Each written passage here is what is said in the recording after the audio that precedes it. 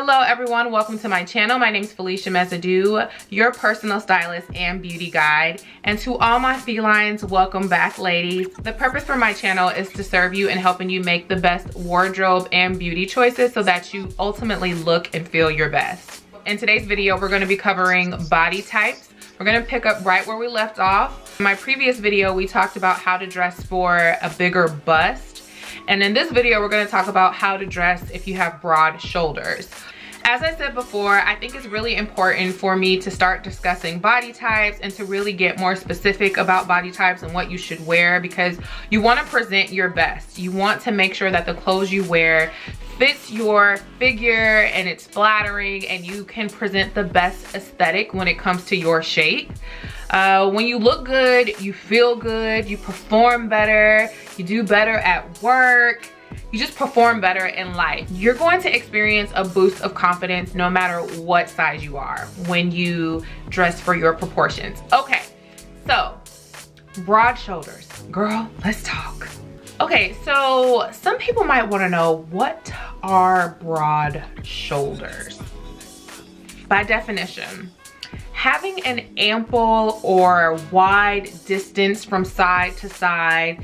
They have sort of a square appearance or it's kind of a more structured look, kind of more boxy.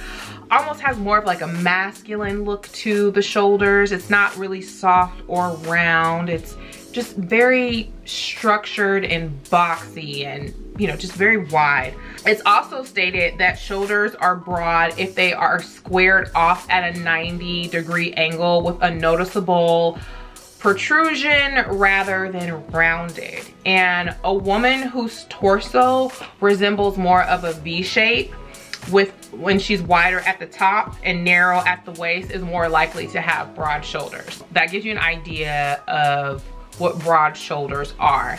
So for broad shoulders, we're gonna wanna create more of an illusion of narrow shoulders, not so wide, or more soft, round shoulders.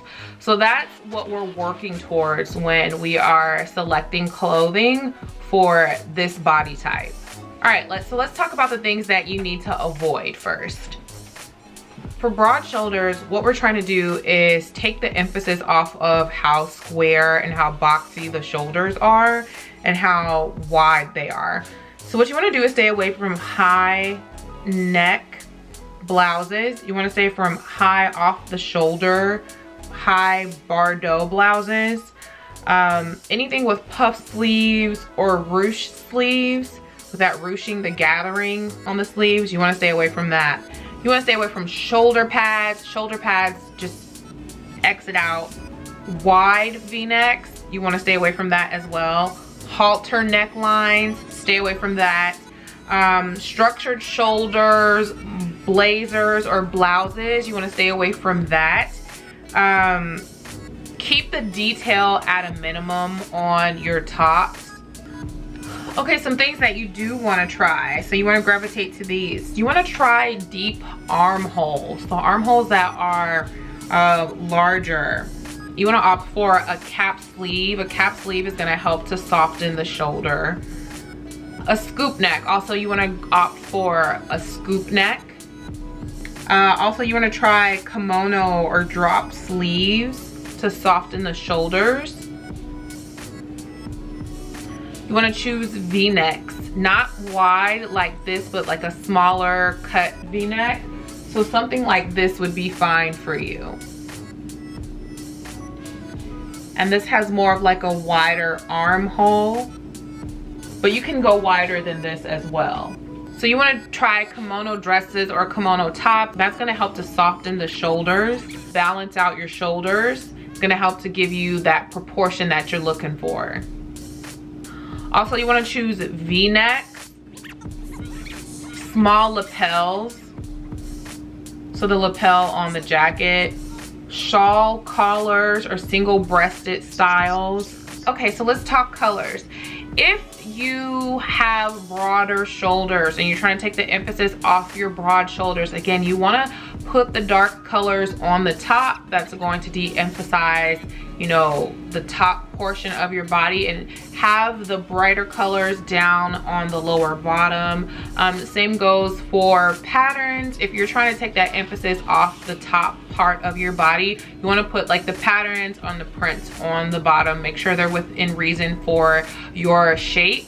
And then if you do plan on wearing any type of prints, make sure that it's very, very subtle. So it's very similar to if you were, you know, busty and you wanted to take off the attention from the top part of your body. You wanna do the same for if you're trying to um, take that, mute the attention off of your shoulders or mute the attention off your shoulders and your breast, depending on if your soft spot is your breast and your shoulders or if it's just your shoulders. So there's kind of some of the similar information that you would use for if you have a big bust, you know, just because you're really trying to take that emphasis off the top part of your body. Okay, so that concludes this video. Those are just some basic tips on how to dress yourself better if you have broad shoulders or if you have broad shoulders with a bigger bust. Um, this is just gonna help, you know, be a frame of reference for you when you go to make some